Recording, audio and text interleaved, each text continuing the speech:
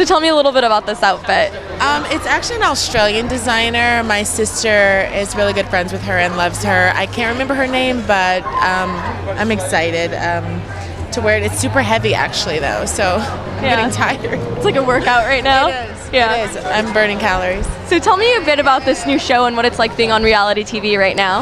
Um, I actually don't know what it's like yet because the show is premiering like right now across the country. So um, I'm excited for people to see my story, Shiva, Katie, Shauna, and the other girls, and you know we'll see what happens. You expressed that you were a little worried about what your family in Oklahoma might think about this. How are you feeling about that now? I mean, I'm gonna find out tomorrow because I'm busy and everyone's going to sleep there. But uh, you know, I come from a conservative community, and um, again, I just want to represent my family in an appropriate manner. But at the same time, like. I want to have fun, so I'll deal with it tomorrow. Have you given them any sort of warnings, like what to expect and like? my grandma's known me since the moment I came into the world, and she's my last parental unit, so she's used to the f bombs and everything else. So, you know, honestly, I'm not that worried. So we'll, you know, good times. Well, I guess we'll have to find out.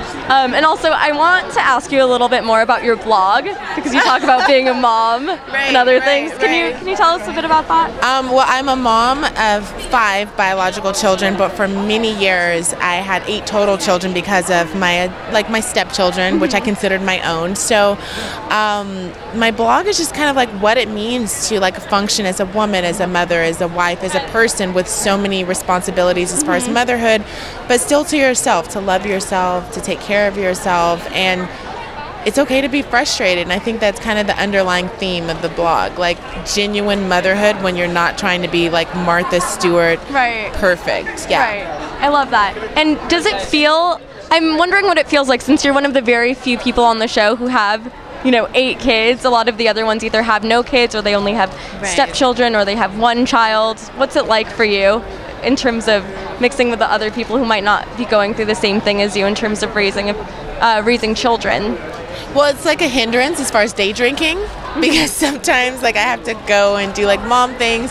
But outside of that um, my kids are the center part of my life so you balance your life with social you know functions etc so it really like motherhood doesn't hold you back. Motherhood empowers you.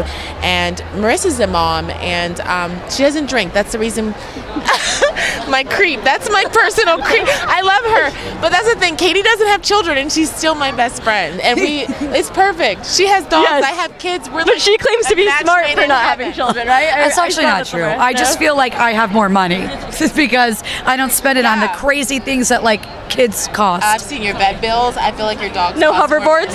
Oh my God, kids these days they have like iPads and iMacs, and I'm like, Jesus, oh, where does that money go? She's technology. like, look at these kids, and I'm like, thank you, goodbye. And there she goes. Yeah, Katie Cazorla, ladies and gentlemen.